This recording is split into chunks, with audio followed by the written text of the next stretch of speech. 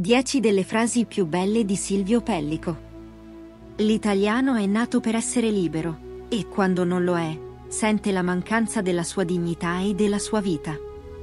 La vera libertà si trova nella coscienza e nella fedeltà ai propri principi, anche quando le circostanze sono avverse. Non vi è cosa più nobile che il sacrificio per la patria. La libertà non è solo un diritto, ma un dovere verso la nostra terra e i nostri compatrioti. Ogni giorno di prigionia è un giorno in cui si impara a conoscere se stessi e il vero valore della libertà. È nelle difficoltà che si forgia il carattere. L'onore e la dignità sono il fondamento dell'esistenza umana. Non possiamo comprometterli senza tradire noi stessi. La speranza è la luce che guida attraverso le tenebre dell'oppressione.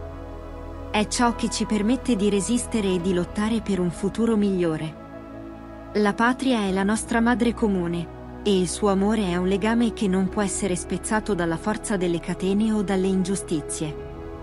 La vera ricchezza di un uomo si misura dalla forza dei suoi principi e dalla sua capacità di mantenere la dignità anche nei momenti più difficili.